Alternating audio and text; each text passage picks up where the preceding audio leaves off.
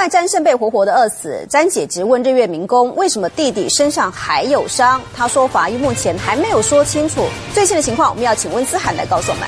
思涵。社主播詹姓高中生在日月民工的灵修处墨园惨遭囚虐致死，解剖报告出炉，证实死因是营养不良所导致的器官衰竭死亡，也就是所谓的活活的饿死。那这个结果呢，看在家属的眼中，其实是十分的不舍。先让我们来听听看詹姐姐怎么说。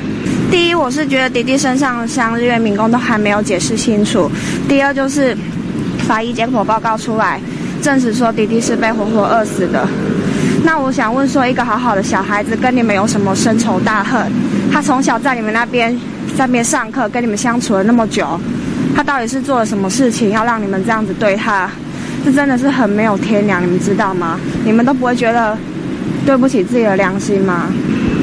好的，詹姓高中生呢，从五月十九号就被妈妈以吸毒的理由呢囚禁在墨园之后，就只有喝水，还有吃稀饭。那这对一个十八岁的男子而言呢，其实营养根本就不够。囚禁在十八天之后呢，就暴瘦了十公斤，惨遭饿死。那其实呢，检警侦办的时候呢，呃，詹妈妈呢是表示说，五月十八号带着儿子呢到墨园以后呢，孩子他不吃饭，问他为什么，没想到詹姓高中生却跟他说他吸毒，就被詹妈妈呢给扩大。激化，处以恐怖的囚禁，还有虐打，还逼迫写下自白书。没有想到，一个小小的玩笑，竟然酿成了这桩骇人悲剧。以上，向最新主播。